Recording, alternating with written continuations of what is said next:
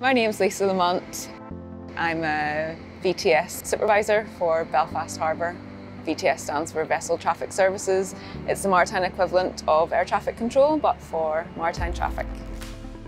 What I love about my job is that no two days are the same. Uh, you come on watch and if it's a busy watch you could be uh, managing up to 23 different vessels within those eight hour periods.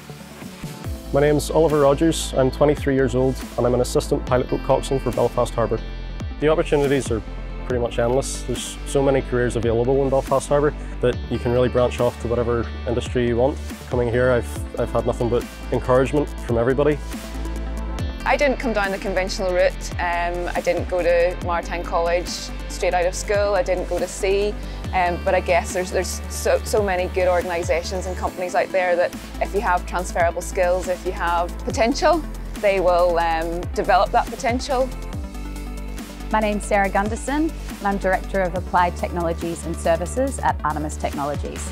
Artemis Technologies is leading the way in revolutionary technology to decarbonise maritime. It's really important to bring young talent into the maritime industry. We're always looking for new ideas, we're looking for enthusiasm, we're looking for fresh approaches to tackle some of the hardest technical challenges out there. Several of our team members started as graduates and have progressed. Jordan is dedicated, he's passionate and he has a lot of enthusiasm. He's certainly one of our shining stars. It's a perfect environment for me. I, every time I have questions or I you know, really want to learn about different aspects of things, you know, I've a wealth of knowledge surrounding me. I'm really fortunate in having that sort of support base around me here where can really help develop me.